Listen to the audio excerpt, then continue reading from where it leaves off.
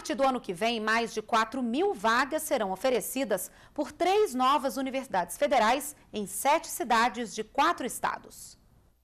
As 4.160 vagas serão preenchidas por estudantes que tenham feito o Enem. Algumas instituições vão aceitar as notas do exame de 2009, 2010 e 2011. A Universidade Federal da Integração Latino-Americana, UNILA, com sede em Foz do Iguaçu, no Paraná, vai oferecer 800 vagas, 400 para brasileiros e as demais para estudantes de outros países latino-americanos.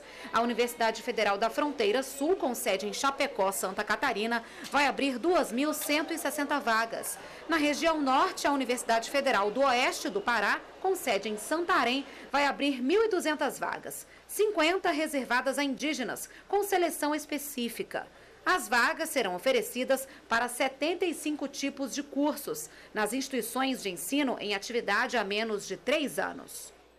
E as instituições de ensino superior que pretendem aderir ao programa Universidade para Todos, o ProUni, em 2012, têm até o dia 2 de dezembro para manifestar esse interesse ao Ministério da Educação.